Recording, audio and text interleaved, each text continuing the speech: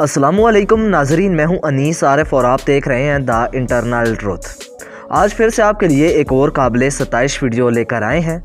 आज की हमारी वीडियो में हम आपको ड्रामा सीरियल सिनफ आहन में नैथमी परेरा का किरदार निभाने वाली दिलकश, हुबरू और बेहद बोल्ड अदाकारा के बारे में बताएँगे कि दरअसल ये कौन है और असल ज़िंदगी में क्या करती हैं। क्या ये अदाकारा शादीशुदा हैं? और अगर हाँ तो इनके कितने बच्चे हैं? इनका बॉयफ्रेंड कौन है? इनका ताल्लुक कहाँ से है? और सबसे अहम बात कि क्या ये मुसलमान भी हैं या नहीं? तो यही सब कुछ आज की हमारी वीडियो में हम आपको दिखाने वाले हैं, मगर को आगे बढ़ाने से कबल हसब रवायत। नए आने वाले सामीन से हमारी गुजारिश होती है कि वीडियो को लाइक और चैनल को सब्सक्राइब कर दीजिए। शुक्रिया।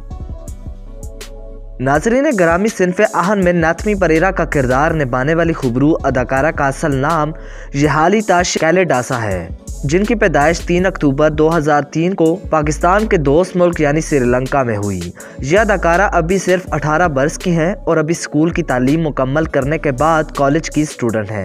इसके साथ साथ ये श्रीलंका की एक बेहद खूबरू और मशहूर मॉडल और अदाकारा हैं। इनके वालद श्रीलंका के टूरिज़्म डिपार्टमेंट में बतौर अफीसर खदमात अंजाम दे रहे हैं और इनकी बड़ी बहन चाइना में पढ़ाई कर रही है।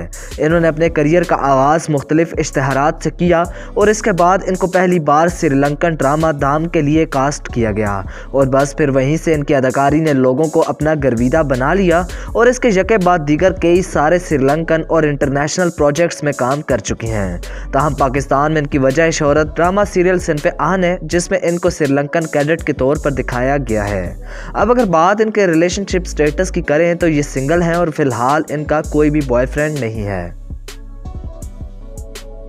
गाइस ये हाली ताशिया की हाइट 5 फीट 3 इंचेस है, जबकि इनका वेट 47 केजी है। इनका आई कलर ब्राउन जबकि हेयर कलर ब्लैक है। और अगर बात इनके बॉडी मेज़रमेंट की करें तो वो 30 28 30 है। इनका ताल्लुक बुद्धिज्म मज़हब से है, जबकि शॉपिंग करना ट्रैवलिंग और फोटोग्राफी इनके दिल पसंदीदा शौक हैं।